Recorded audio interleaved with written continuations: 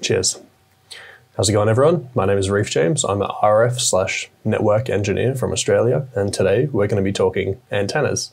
Uh, well, not only antennas, but RF equipment in general antennas, coax, things like that, right?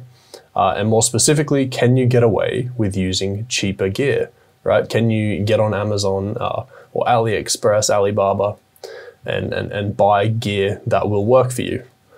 Um, yeah, maybe. I mean, like you might be able to do it and it might work fine, but it's not going to be reliable and you might not get what you what you pay for or what you think uh, it is, right? And that, that's the difference really between buying a reputable brand name product and, and something sort of more mass produced from China is you don't have that reliability. You don't know that what you're buying is actually what you're buying, right? Um, if you buy something from from AliExpress or Amazon, buy an let's just talk antennas, right? Let's let's think a typical outdoor, you know, omnidirectional antenna. If you buy something like that from Amazon, you're, you're probably not going to get a data sheet. And even if you do get a data sheet, it's it's it's very likely going to be inaccurate. Um, I spent a, a, time doing a, a, fair bit of testing uh, with my job um, on on these cheaper, um, you know, RF antennas, and even if you do get the data sheet with them, a lot of the time, more often than you would expect, the they don't perform as to what they say that they do perform on the data sheet. So if you buy a cheap antenna and it has a data sheet, it's probably not going to perform that uh, that good anyway, uh, and most of them don't even come with a data sheet. So, so rule one would be if it doesn't come with a data sheet, just straight up don't buy it. If you can't find a data sheet for it, don't buy it. Uh, and why? Like, why are they? Why are they so? What's the difference? Like hardware wise, what's difference between a cheap antenna and, and an expensive brand name antenna? Well, we're talking if we have a proper brand name antenna, it's going to be well sealed the, the big issue with, with antennas, outdoor antennas, is, is they need to be well sealed. Otherwise, you get moisture, you get water ingress getting inside of the antenna, and that just it, it, causes huge issues with, with your antenna characteristics and, and just the overall longevity of the antenna. Okay, you buy a cheap antenna, it's probably not going to be well sealed. It might work well for a year and then you get water in it and then things corrode or the water gets in there and it, it changes the way that the antenna uh, works and, and you have issues, okay?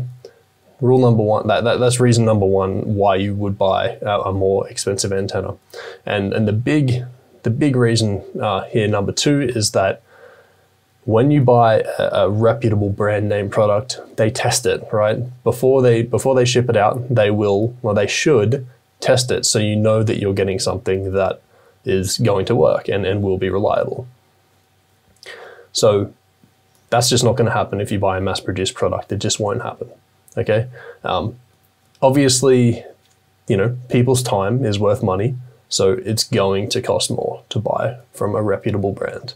It's going to cost more, but it's worth it, right? Especially with with something like helium, where you're talking you know, it's an investment, right? Helium is an investment. I, I see it as an investment, and you you should as well, right? You're putting in money and you're expecting a return, right? And, and, and at that, a very lucrative return. So you really just don't want to skimp out on your gear. You want it to be reliable. You want to know what you're getting, uh, and you want it to last long term. Uh, and that's why you pay for the gear, right? Your your brand name antenna, it's probably going to be uh, not a fiber optic, but um, fiberglass radome covering it. Uh, whereas your cheap one's probably going to be a, a, crappy plastic that will degrade in the sun and all sorts of things like that. You've just got a whole heap of issues. Same goes for coax, right? If you're buying a cheap uh, coax from China, it's not going to be likely, it's not going to be tested before it's shipped out to you. So you don't know whether it's going to work right. You don't know if the connectors have been joined on properly. They haven't tested it. If you buy locally, uh, they're going to they're going to test it before they ship it. because their brand is on the line and they want to stick up for their brand. You know, uh, it, it's just really it's just really worth it. It's not worth buying cheap RF gear, and that's that's basically why. So just as a recap, the first reason is the build quality is better. You're going to get a longer life out of the product. Second reason is you actually know what you're buying. So what they say uh, that you're buying is, is actually how it will perform. So if you're buying an antenna that operates within this frequency range, it is going to operate within that frequency range. Likely, right? Likely. Whereas if you buy something cheap with no data sheet, you really don't know what the hell it is. Okay, you really don't know what it is.